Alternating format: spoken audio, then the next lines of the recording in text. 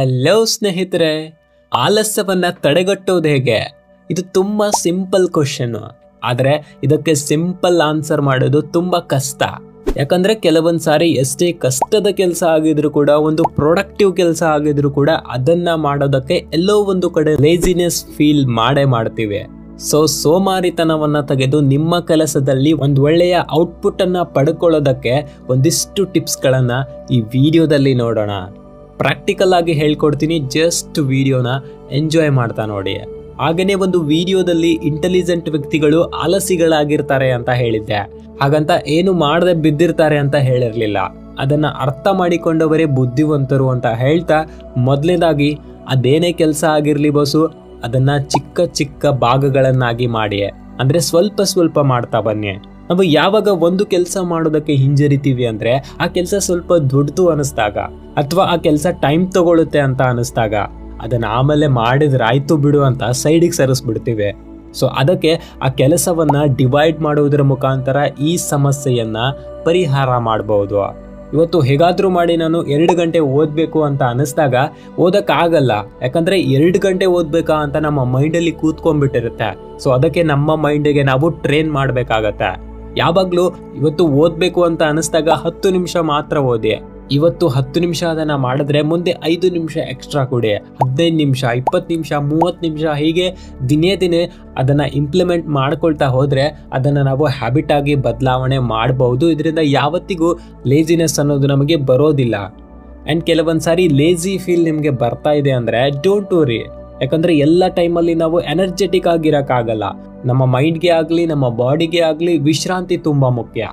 ಯಾಕಂದ್ರೆ ಎರಡು ರೀತಿಯ ಲೇಜಿನೆಸ್ ಅನ್ನ ನಾವು ಕಾಣಬಹುದು ಒಂದು ಫಿಸಿಕಲ್ ಇನ್ನೊಂದು mental physical laziness times lazy ಆಗ್ತಿದ್ದೀರಾ ಅಂದ್ರೆ ಅಲ್ಲಿ ವಿಶ್ರಾಂತಿಯ ಅವಶ್ಯಕತೆನೂ ಕೂಡ ಇರುತ್ತೆ. ಆ ಟೈಮಲ್ಲಿ ಎನರ್ಜಿ ಕಡಿಮೆ ಆಗಿರುತ್ತೆ. ಎಷ್ಟೇ ಮೋಟಿವೇಶನ್ ಕೊಟ್ಟರು ಕೂಡ ಆಕ್ಷನ್ ತಗೊಳ್ಳೋದು ತುಂಬಾ ಕಷ್ಟ ಆಗತ್ತೆ. ಪ್ರಾಕ್ಟಿಕಲ್ ಆಗಿ ಹೇಳೋದಾದ್ರೆ, ನಮ್ಮಲ್ಲಿ ಶಕ್ತಿ ಕಡಿಮೆ ಇದ್ರೆ ಎಷ್ಟೇ ಮೋಟಿವೇಶನ್ ಇದ್ರೂ ಕೂಡ ಒಂದು ನೂರು ಕೆ ಜಿ ಭಾರವನ್ನ ಎತ್ತೋಕ್ಕಾಗಲ್ಲ.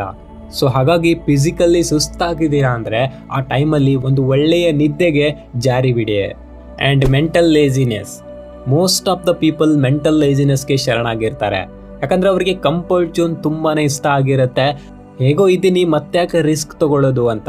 ಮೆಂಟಲ್ ಲೇಜಿನೆಸ್ಸನ್ನು ಕೂಲಾಗಿ ಅರ್ಥ ಮಾಡ್ಕೊಳ್ಳಿ. ಯಾಕಂದ್ರೆ ಇದು ನಿಮ್ಮ ಜೀವನವನ್ನ ಬದಲಾಯಿಸುವಂಥದ್ದು. ಫಸ್ಟ್ ಆಫ್ ಆಲ್ ನೀವು ಆಲಸಿ ಅಲ್ಲ. ಆಲಸಿತನವನ್ನು ಮಾಡ್ತೀರಾ ಅಷ್ಟೇ. ನಾನು ಅದನ್ನ ಮಾಡ್ತೀನಿ ಅಂತ ಸುಮ್ಮನೆ ಹೇಳೋದೇ ಬೇರೆ, ನಾನು ಮಾಡೇ ಮಾಡ್ತೀನಿ ಅಂತ ಫಿಕ್ಸ್ ಆಗೋದೇ ಬೇರೆ. ಯಾವಾಗ ಅದನ್ನ ನಾವು ಮಾಡ್ತೀನಿ ಅಂತ ಡಿಸೈಡ್ ಮಾಡ್ತೀವೋ, ಹೇಗೆ ಮಾಡ್ತೀರಾ, ಏನು ಮಾಡ್ತೀರಾ ಅನ್ನೋದು ನಿಮ್ಮ ಮೈಂಡಲ್ಲಿ ಕ್ಲಿಯರ್ ಆಗಿದ್ರೆ ಆಲಸಿತನ ಬರೋದೇ ಇಲ್ಲ. ಅದಕ್ಕೆ ನಿಮ್ಮ ಗುರಿ ಯಾವಾಗಲೂ ಕ್ಲಿಯರ್ ಆಗಿರಬೇಕು ಅಂತ ಹೇಳ್ತಾರೆ. ನಿಮ್ಮ ಲೈಫಲ್ಲಿ ಯಾವುದೇ ವಸ್ತು ನಿಮಗೆ ಡಿಸ್ಟ್ರಾಕ್ಟ್ ಮಾಡ್ತಿದ್ರೆ ಅದರಿಂದ ಹೊರಗಡೆ ಬರಲೇಬೇಕು. ಅದೇನೇ ಆಗಿರಲಿ, ಜಾಸ್ತಿ ಟಿ ವಿ ನೋಡೋದಾಗಿರ್ಬೋದು ಮೊಬೈಲ್ ನೋಡೋದು ಇಂಟರ್ನೆಟ್ ಯೂಸ್ ಮಾಡೋದು, ಅಥವಾ ಯಾವುದೇ ವ್ಯಕ್ತಿನೂ ಆಗಿರ್ಬೋದು. ನಿಮ್ಮ ಕೆಲಸಕ್ಕೆ ಅದು ಅಡೆತಡೆ ಆಗಿದ್ರೆ ಅದನ್ನು ಬಿಡಲೇಬೇಕು. ಯಾವುದೋ ಒಂದಿನ ಪೂರ್ತಿ ಟಿ ವಿ ನೋಡಿ ಅಥವಾ ಯಾವುದೋ ಒಂದಿನ ಪೂರ್ತಿ ಮೊಬೈಲ್ ಯೂಸ್ ಮಾಡಿ, ಅಥವಾ ಗೇಮ್ಸ್ ಆಡಿ ಪರವಾಗಿಲ್ಲ, ಆದರೆ ಇದೇ ರೀತಿ ಪ್ರತಿದಿನ ಕಂಟಿನ್ಯೂಸ್ ಆಗಿ ಮಾಡ್ತಾ ಇದ್ದೀರಾ ಅಂತಂದರೆ ಇದು ಲಾಂಗ್ ಟರ್ಮ್ ಅಲ್ಲಿ ನಿಮ್ಮ ಹ್ಯಾಬಿಟ್ ಆಗಿ ಬದಲಾಗತ್ತೆ. ಅದಕ್ಕೆ ಆ ಕೆಲಸವನ್ನ ಬಿಟ್ಟು ಬೇರೆ ಮಾಡೋದಕ್ಕೆ ಲೇಜಿನೆಸ್ ಖಂಡಿತ ಫೀಲ್ ಮಾಡ್ತೀರಾ? ಈ ಲೇಜಿನೆಸ್ ಅನ್ನೋದು ನಮ್ಮ ಪ್ರೊಡಕ್ಟಿವಿಟಿಯ ಶತ್ರು ಕಣ್ರಿ. ಯಾವುದೇ ಒಂದು ಕೆಲಸವನ್ನ ಅರ್ಥಪೂರ್ಣವಾಗಿ ಸಾಧಿಸೋದಕ್ಕೆ ಇದು ಬಿಡೋದೇ ಇಲ್ಲ.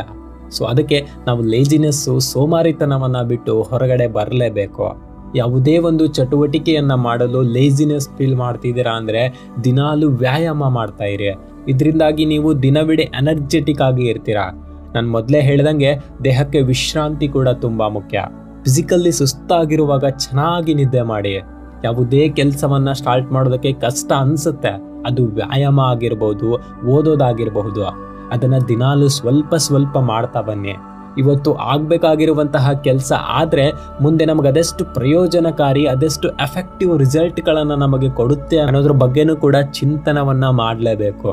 ಇದಕ್ಕಾಗಿ ಒಂದೊಳ್ಳೆಯ ಆ್ಯಕ್ಷನನ್ನು ನೀವು ತಗೊಳ್ತೀರಾ ಅಂತ ಆಶಿಸ್ತಾ ಈ ವಿಡಿಯೋನ ಇಲ್ಲಿವರೆಗೂ ನೋಡಿದ್ದೀರಾ ಅಂತ ಅಂದರೆ all the best for your life ಒಂದು ಒಳ್ಳೆ ವಿಚಾರವನ್ನು ಇವತ್ತು ನೀವು ಕಲ್ತಿದ್ದೀರಾ, ಈ ವಿಡಿಯೋ ಇಷ್ಟ ಆಗಿದ್ದರೆ ಲೈಕ್ ಮಾಡಿ. ಸಿಗೋಣ ಮತ್ತೊಂದು ವಿಡಿಯೋದಲ್ಲಿ ಅಲ್ಲಿವರೆಗೂ smile to your life and finally Thank you for watching.